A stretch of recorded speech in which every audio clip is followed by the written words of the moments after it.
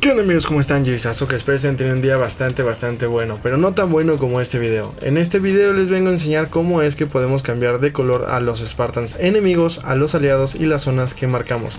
Esto nos va a servir para que tengamos una mejor visibilidad de lo que está sucediendo en el mapa a mayores distancias. Hay colores que se camuflajean y hay colores que se dan a notar desde mucha más distancia. Así que quédense hasta el final del video porque les voy a decir para mí cuál es el mejor color que nos puede servir para esto. Bueno, para solucionar esto rápidamente, desde cualquier menú, estando hasta dentro de una partida, vamos a poner el menú de pausa, nos vamos a ir a configuración y nos vamos a ir a la IU que es interfaz de usuario o en inglés User Interface, es al revés. Bajamos y aquí tenemos los colores. El primero es el color de los enemigos, en este caso a mí me gusta usarlos en esos colores, les voy a explicar más adelante por qué. Luego el de los aliados, a mí me gusta tenerlo en color azul, se me hace bastante bueno.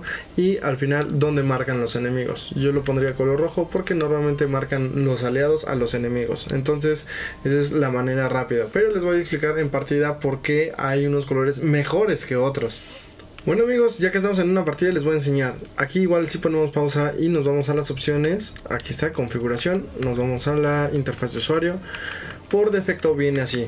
Vermont, cielo y pasto. Si no me equivoco, puede ser que venga salmón, cielo y pasto.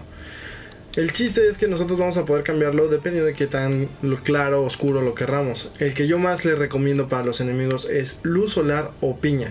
Y les voy a explicar aquí por qué. Si vemos que estamos dentro de una partida, los enemigos van a resaltar muchísimo más siendo de color amarillos que siendo de otro color. Entonces vamos a ver que a de grandes distancias o apenas nos asomemos vamos a poder ver muy claramente el color piña. Es muy muy resaltante. En cambio, a ver, probemos otro color para que vean la diferencia. En este caso cambiamos a configuración algodón de azúcar y vamos a ver que resaltan pero no tanto no son tan tan tan brillantes y tan vivos como el color rosa en este caso. Hay varios colores, depende de ti cómo es que te guste jugar, cómo estás acostumbrado, pero yo recomiendo el amarillo para los enemigos. Les confieso que también me confundí al principio mucho porque en la campaña los amarillos son aliados. Entonces me tardé un poquito en acostumbrarme, pero después de unas 4 o 5 partidas te vas acostumbrando y es realmente fácil. Entonces esa es la manera en la cual vamos a poder cambiar nosotros el color de los enemigos, también el de los aliados. por ejemplo, en este caso los aliados están azules. Vamos a cambiarlos, nos vamos a la configuración, nos vamos a la interfaz de usuario. Y en este caso, para que vean otro color, vamos a poner el color lima.